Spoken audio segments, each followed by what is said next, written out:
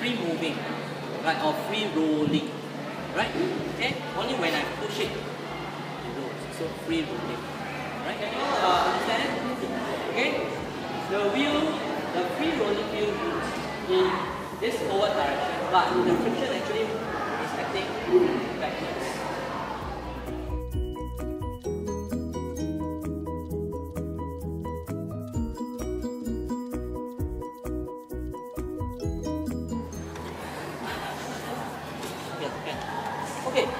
the power wheel, right?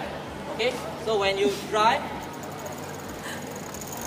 you also roll the same way, like the free rolling wheel.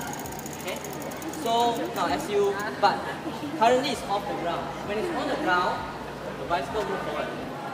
Right? So which direction is your friction on the, the wheel? When it's touching the ground. Oh, forward. Now, if it's off the ground, no friction, huh?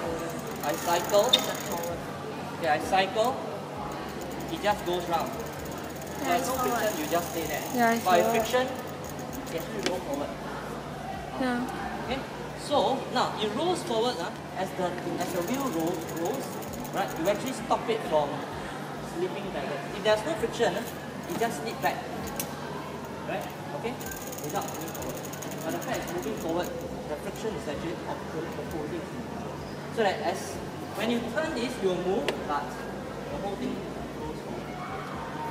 The friction behind here is opposite to the way it normally rolls. It rolls back, right? The friction actually acts forward direction. Right, so that as it rolls, it moves the bicycle. And the front is back.